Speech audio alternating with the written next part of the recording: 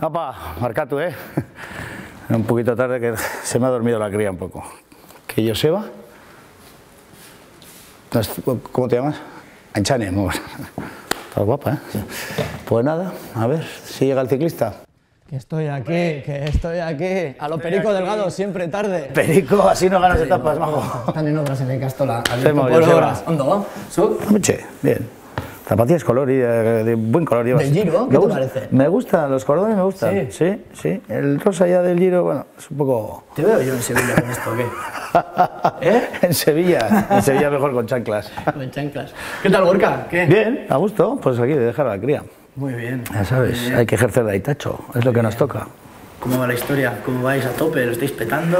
Sí, con la serie, encantados, vamos. Pues bueno, ahora se está emitiendo la tercera y ya hemos firmado la cuarta, o sea que, ¿qué más se puede pedir? ¿Vais, vais como, En octubre para allí otra vez. vais a tope como A la caló. Como los serrano.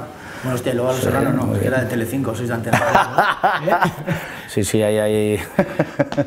Bueno, No, pero bien, muy contentos, muy buen ambiente. eh, somos, somos cuadrilla ya de verdad, o sea que ¿qué está pasando? ¿Qué está pasando con las series, con el cine?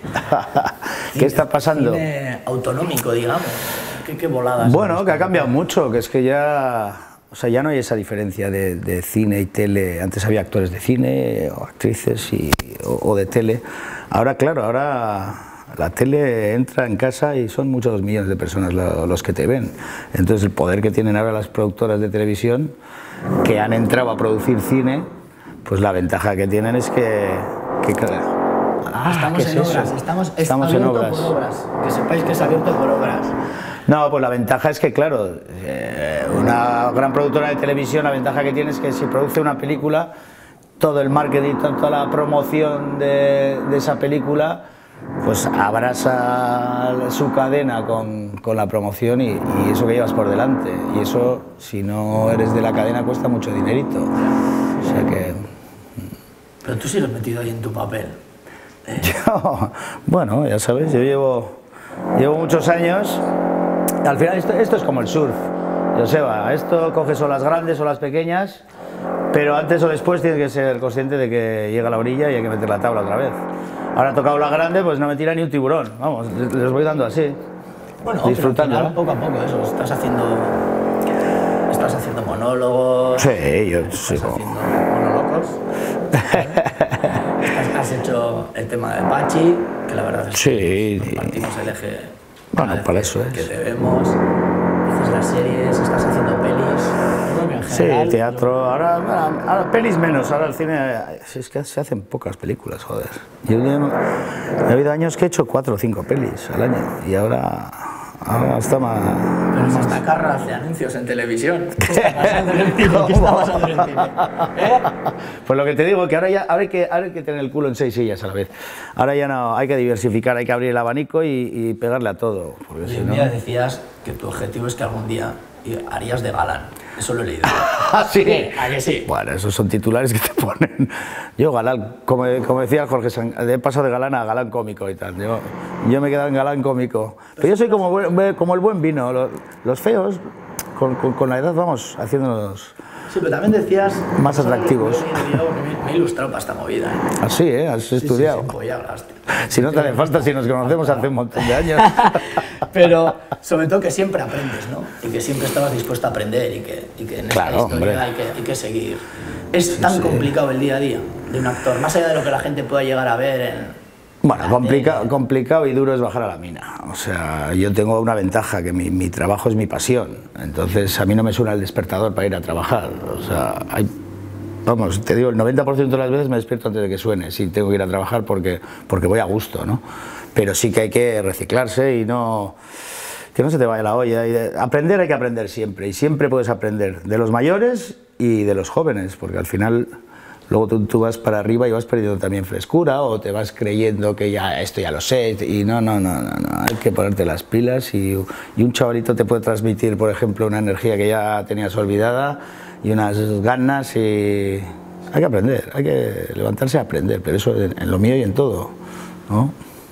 ¿Cuánto tiempo pasado de aquel airbag, de, de aquellas pelis que nos partíamos? Yo siempre tengo aquella escena, siempre recordaré, que hacías de guardia civil. Sí, sí, sí, de picoleto. Luego, Bien, luego con San Juan. con eso fue un regalo, mira, eso, eso fue un regalo que me hicieron entre, entre Carra y, y Juanma. Yo siempre digo que Carra es como mi hermano mayor, ¿no? Eh, Carra, cuando nosotros con Sobradún, John Gavella y yo eh, estrenamos Herminio y Miguelito, aquella función tan punky, pues vino al camerino, Carra, no nos conocíamos personalmente, vino al camerino y dijo, me cago en la puta, a ganarle tienes como yo, tú eres un cabrón, tú te vas a ganar la vida con esto, joder, ya te lo digo yo y tal. Y ha sido un poco mi hermano mayor, porque él fue el que me puso en contacto con Juanma y el que le dijo a Juanma, este, este chaval para el picolete, este lo va a hacer muy bien y tal. Y de hecho he hecho pues, como cuatro pelis con, con Carra y tal, o sea, siempre, siempre se acuerda de mí. Os queremos mucho. Cosa, te he traído una cosa para que veas. ¿Qué has traído? ¿A que no te hombre, joder, hombre, no hay huevos. Sí, sí, te puedo... Ah, pero encima lo tienes firmado. Eso me lo regalasteis Ostras, qué hace bueno. un mogollón de años en Agurain. Qué bueno. Mira, en Agurain. Ahora, eh, este fin de semana he estado con John Plazaola Sí. actuando en Agurain y me ha hecho mucha ilusión porque Agurain es como actuar en casita.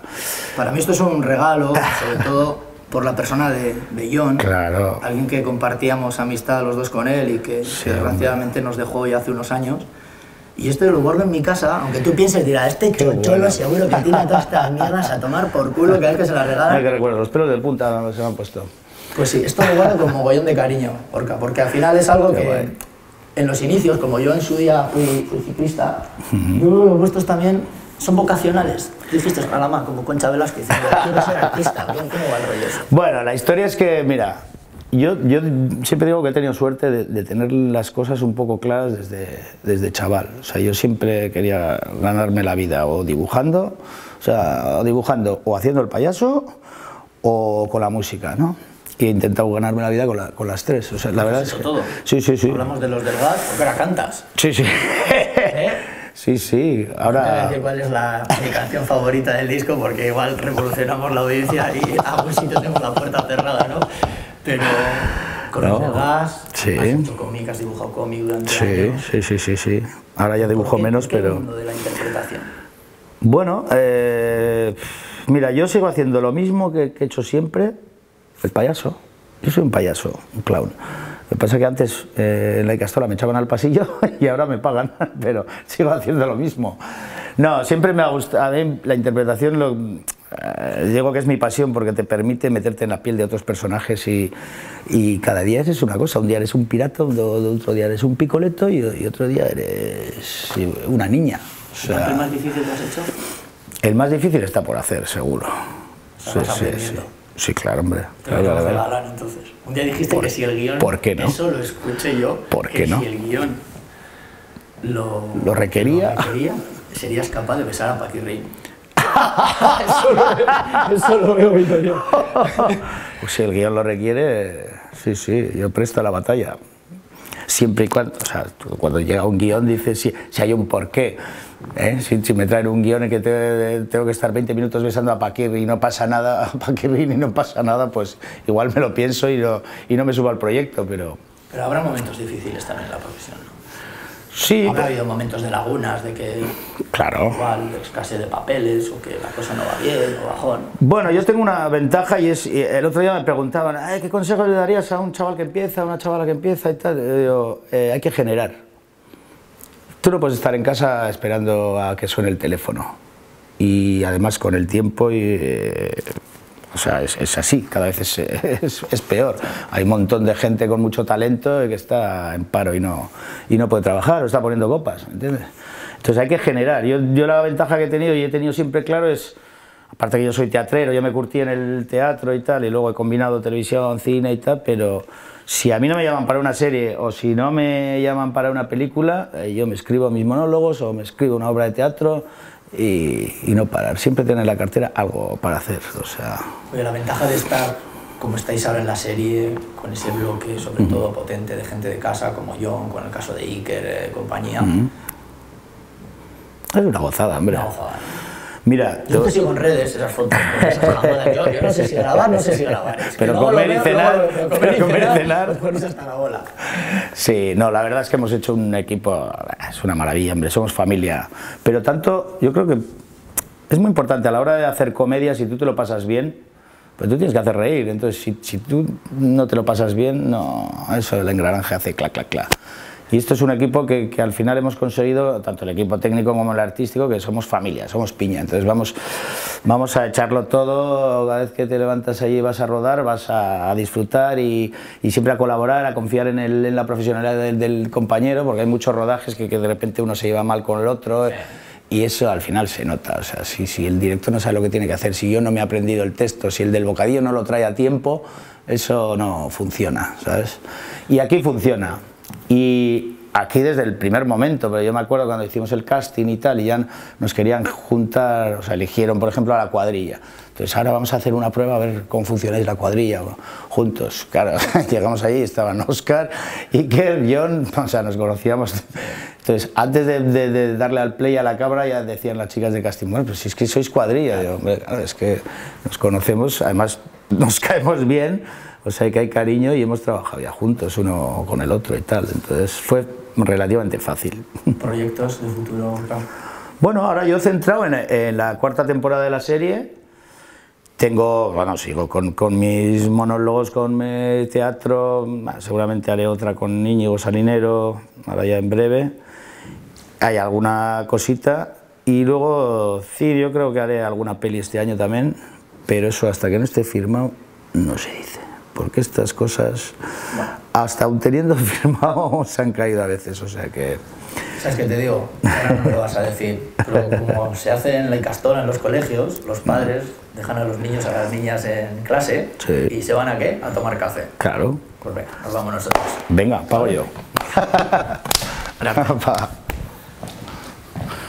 sí, hombre, sí, o sea que sigues dándole al pedal, ¿eh?